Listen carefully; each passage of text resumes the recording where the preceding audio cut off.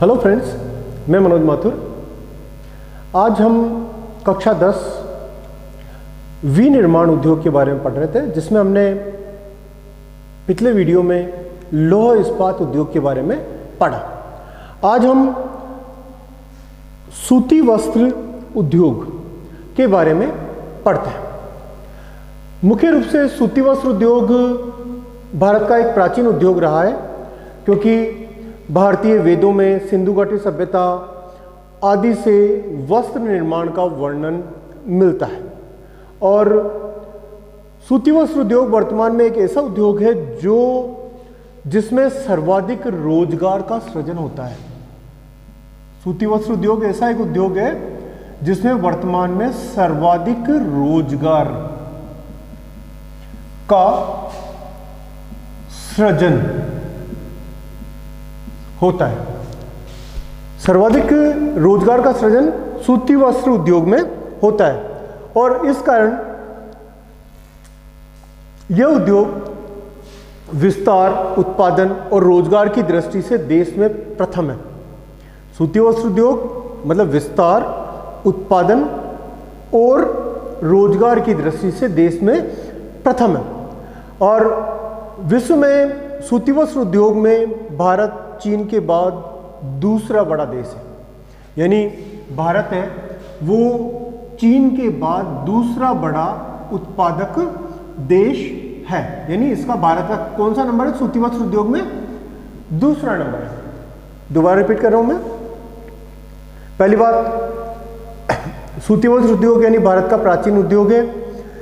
भारतीय वेदों, सिंधु घाटी सभ्यता में वस्त्र उद्योग के निर्माण का वर्णन मिलता है। और यह एक ऐसा उद्योग है जिसमें सर्वाधिक रोज़गार का सृजन होता है। और इस कारण यह उद्योग विस्तार, उत्पादन तथा रोज़गार की दृष्टि से देश में प्रथम है। विश्व में सूती वस्त्र उद्योग में भारत, चीन के बाद दूसरा बड़ा देश माना गया है।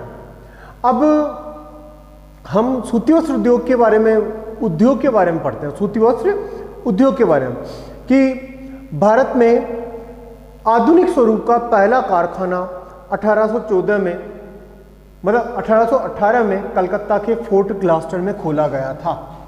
मतलब भारत में सूती वस्त्र उद्योग का पहला कारखाना कलकत्ता के फोर्ट ग्लास्टर में खोला गया था 1818 में। किंतु यह प्रयास विफल रहा। अठारह में पहली भारतीय सूती वस्त्र मिल मुंबई में कवाजी डाबर द्वारा स्थापित की गई थी। यानी हम अठारह सौ चौवन की बात करते हैं कि अठारह में भारत में पहली सूती वस्त्र मिल। भारत में पहली सूती वस्त्र मिल। कहाँ पर खोली खोली गई थी? मुंबई में कवाजी डाबर के द्वारा। मुंबई में कवास जी डाबर द्वारा भारत में पहली सूती वस्त्र मिल खोली गई थी, जिसमें जिसने 1856 में उत्पादन शुरू किया। यानी 1818 में तो कलकत्ता में पहले, पहला कारखाना कलकत्ता के फोर्ट ग्लास्टर में खोला गया था, परंतु ये प्रयास क्या हुआ था? विफल हो गया था। और अठारह सौ चौवन में मुंबई में पहली सुस्ती वस्त्र मिल कवाजी डाबर द्वारा स्थापित की गई थी, जिसने 1856 में काम करना, उत्पादन करना स्टार्ट कर दिया था। यानी प्रारंभ कर दिया था। मैं आपको बता दूँ कि 1861 तक भारत में 12 मिलें खुल चुकी थी और 1947 तक भारत में 417 मिलें थी, जिसमें तीन लाख से अधिक श्रमिक कार्य कर रहे थे। और वर्तमान में इन मिलों की संख्या लगभग 2000 से भी अधिक है। एक बात और कि जिसमें लगभग 40 लाख लोग कार्य करते हैं। एक बात और कि यह उद्योग के सकल घरेलू उत्पाद का 14 प्रतिशत भाग प्रदान करता है। मतलब सूती वस्त्र उद्योग उद्योग के, यानी उद्योग जगत के 14 प्रतिशत, यानी यह कहने का मतलब कि यह उद्योग के सकल घरेलू उत्पाद का 14 प्रतिशत भाग प्रदान करता है। और विशेष रूप से भारत में इसके लिए परिस्थितियाँ, यानी भारत के, भारत में इस उद्योग का स्थानीयकरण, कपास उत्पादक क्षेत्रों, सस्ते परिवहन व श्रम तथा नम जलवायु वाले भागों में हुआ है। और इस इसी कारण कौन कौन सी मुख्य बातें इसके लिए मतलब इसके स्थायीकरण के लिए या इसके इन उद्योगों को स्थापित करने के लिए किन परिस्थितियों की आवश्यकता होती है? पहली बात तो क्या होना चाहिए कि वह राज्य कपास उत्पादक होना चाहिए। यानी कपास उत्पादक क्षेत्र का होना चाहिए। दूसरा, ये सस्ते परिवहन एवं श्रम पर आधारित है। सस्ते परिवहन एवं श्रम पर आधारित है। इसके अतिरिक्त इसके लिए मुख्य जो बात होती है, इसके लिए मुख्य चीज़ क्या चाहिए? नम जलवायु चाहिए। तो यानी कि भारत में सूती वस्त्र उद्योग का स्थानीयकरण, कपास उत्पादक क्षेत्रों, सस्ते परिवहन एवं श्रम तथा नम जलवायु वाले भागों में होता है। मुख्य रूप से हमने क्या क्या पढ़ा यहाँ पर? पहली बात कि यह उद्योग भारत का प्राचीन उद्योग रहा है। सिंधु घाटी सभ्यता और वेदों में इसके वस्त्र निर्माण के प्रमाण उपलब्ध है। और यह एक ऐसा उद्योग है जिसमें रोज़गार, सर्वाधिक रोज़गार का सृजन होता है। और इस कारण यह उद्योग विस्तार, उत्पादन तथा रोज़गार की दृष्टि से भारत में प्रथम है। और विश्व में सूती वस्त्र उद्योग में भारत चीन के बाद दूसरा बड़ा देश है। और जैसा कि मैंने आपको बताया कि भारत में आधुनिक स्वरूप का पहला कारखाना 1818 में कलकत्ता के फोर्ट ग्लास्टर में खोला गया था, परंतु यह प्रयास विफल रहा था। अठारह सौ चौवन में मुंबई में भारत की पहली सूती वस्त्र मिल कवासी डाबर द्वारा स्थापित की गई थी, जिसने अठारह सौ छप्पन में उत्पादन करना प्रारंभ कर दिया था। और कपास मतलब भारत में इस उद्योग का स्थानीयकरण, कपास उत्पादक क्षेत्रों, सस्ते परिवहन एवं श्रम तथा नम जलवायु वाले क्षेत्रों में हुआ है। अब मुख्य रूप से हम कपास उत्पादक राज्यों के बारे में पढ़ते हैं। मुख्य रूप से हम सूती वस्त्र उद्योग के बारे में पढ़ रहे हैं कि किन किन राज्यों में सूती वस्त्र उद्योग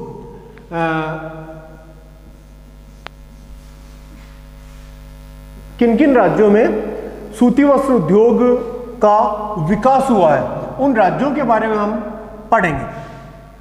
सबसे पहले हम मुख्य रूप से लेते हैं, कपास उत्पादक राज्यों में जो सबसे पहला नाम आता है, वो आता है महाराष्ट्र राज्य। कपास उत्पादक राज्यों में सबसे पहला नाम आता है महाराष्ट्र का। मैं आपको बता दूँ कि सूती वस्त्र उत्पादन में ये प्रथम राज्य है। सूती वस्त्र उत्पादन में क्या है ये? प्रथम राज्य है। और यहाँ पर लगभग 112 मिले हैं, जिनमें सर्वाधिक चौवन मिले मुंबई में हैं। यहाँ पर टोटल मिला के 112 मिले हैं और इनमें सर्वाधिक मिले, चौवन मिले मुंबई में हैं। चौवन मिले मुंबई में है। इसी कारण मुंबई को सूती वस्त्र की राजधानी भी कहा जाता है। मुंबई को क्या कहा जाता है? सूती वस्त्र की राजधानी कहा जाता है। यानी भारत में कप, सूती वस्त्र उत्पादन में प्रथम राज्य महाराष्ट्र, जहाँ पर 112 मिले हैं और जिनमें सर्वाधिक चौवन मिले मुंबई में है। इसी कारण मुंबई को क्या कहा जाता है? सूती वस्त्र की राजधानी कहा जाता है। इसके अतिरिक्त शोलापुर, अकोला, अमरावती, वर्धा, सतारा, कोल्हापुर, सांगली, जलगांव और नागपुर में भी मिलें स्थापित है। मुख्य रूप से। मुंबई के अतिरिक्त अनेक महाराष्ट्र के अन्य ज़िले हैं, जैसे शोलापुर अकोला, अमरावती, वर्धा। ये मैप में भी पूछे जाते हैं कि वर्धा कहाँ, कौन से राज्य में है? महाराष्ट्र राज्य में है। तो महाराष्ट्र राज्य में कौन कौन से ज़िले हैं? जिनमें सूती वस्त्र मिले हैं? अकोला, शोलापुर, अमरावती, वर्धा, सतारा, कोल्हापुर, सांगली, जलगांव नागपुर आदि में भी सूती वस्त्र मिले हैं। और मुख्य रूप से वहाँ पर कौन कौन सा आ, कौन कौन से कपड़े बनते हैं? तो यहाँ की मिलों में पॉपलिन मलमल साड़ी धोती चद्दर शूटिंग और शर्टिंग का कपड़ा बुना जाता है। और मुख्य रूप से क्यों है? महाराष्ट्र के अंदर सूती वस्त्र मिले क्यों स्थापित है? मुख्य रूप से कि यहाँ पर काली मिट्टी काली मिट्टी मतलब कि यहाँ पर काली मिट्टी का पृष्ठ प्रदेश, काली मिट्टी का पृष्ठ प्रदेश, समुद्र की नम जलवायु समुद्र की नम जलवायु। इसके अतिरिक्त मुंबई बंदरगाह के कारण। मुख्य रूप से क्या है? मुंबई बंदरगाह। आदि के कारण इस क्षेत्र में इसका सर्वाधिक विकास हुआ है और महाराष्ट्र ऐसा राज्य है जिसमें 30 प्रतिशत सूती वस्त्र का उत्पादन होता है। मुख्य रूप से 30 प्रतिशत सूती वस्त्र का उत्पादन होता है। यानी महाराष्ट्र के बारे में कि सूती वस्त्र उत्पादन में प्रथम राज्य यहाँ पर 112 मिले हैं, जिनमें सर्वाधिक चौवन मिले मुंबई में हैं। और इसी कारण मुंबई को क्या कहा जाता है?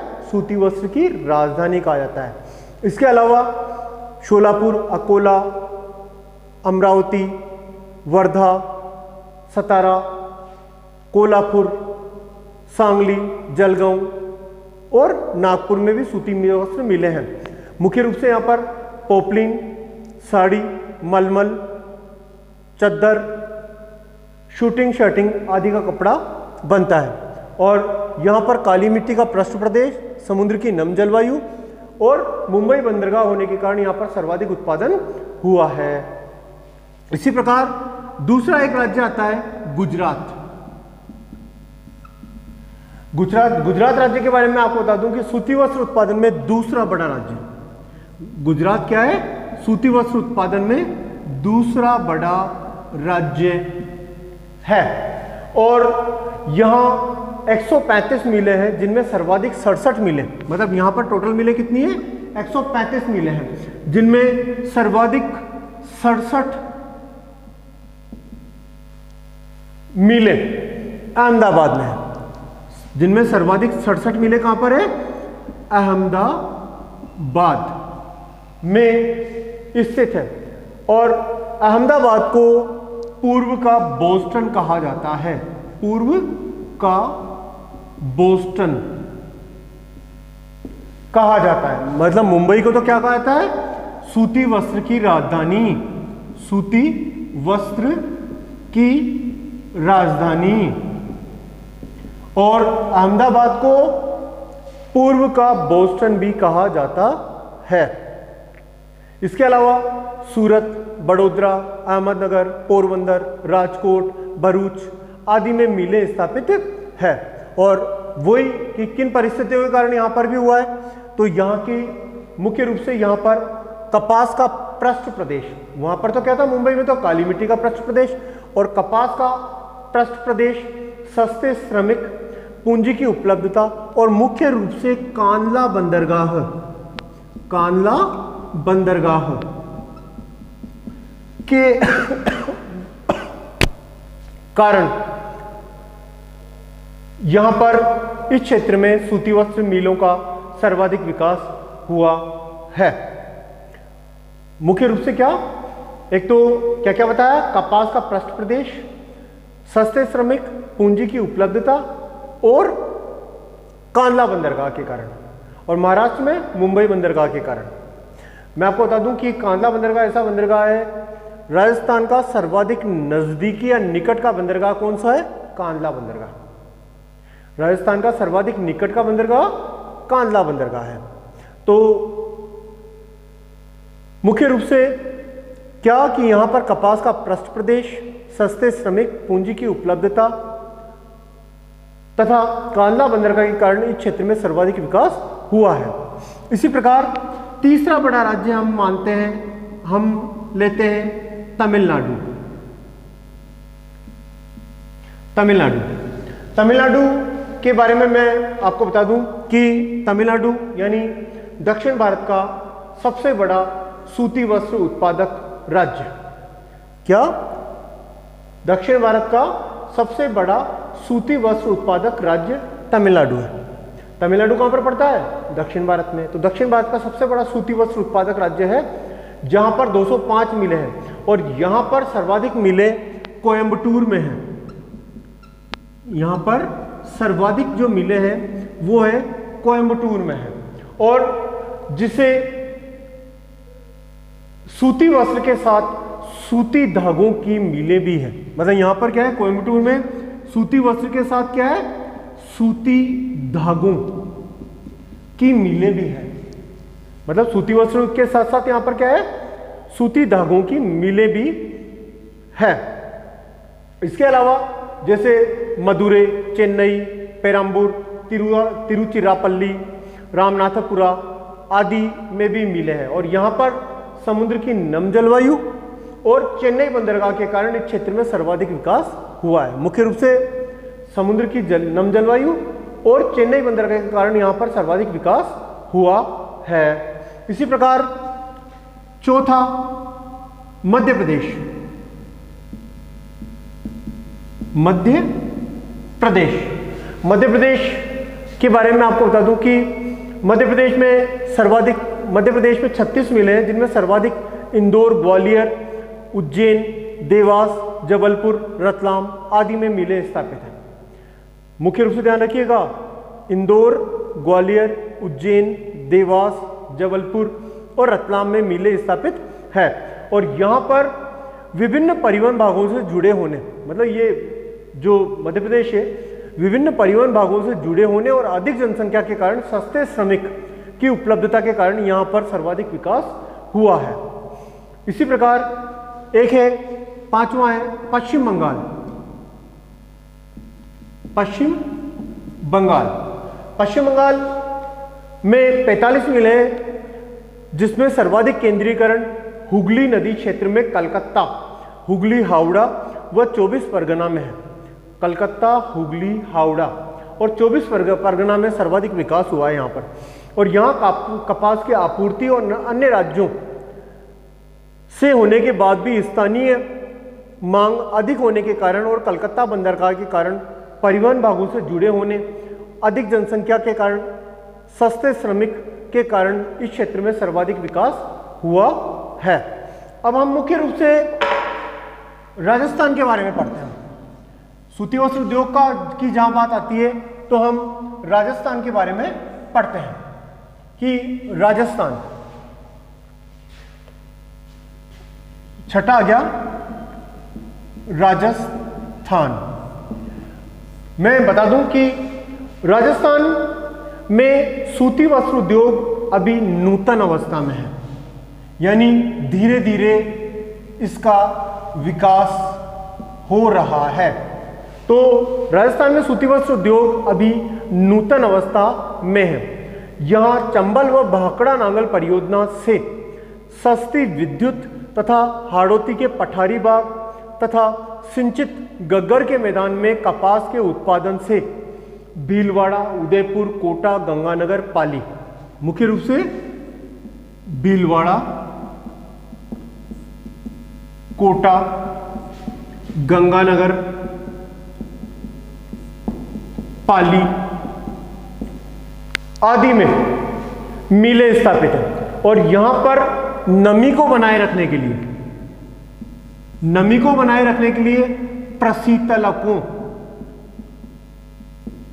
का प्रयोग किया जाता है। प्रशीतलकों का प्रयोग किया जाता है किसके लिए? नमी को बनाने के लिए। और राजस्थान में देश का चार प्रतिशत उत्पादन होता है और उत्पादन में केवल शूटिंग व शर्टिंग का कपड़ा ही बनाया जाता है। तो यह आज हमने सूती वस्त्र उद्योग के बारे में पढ़ा।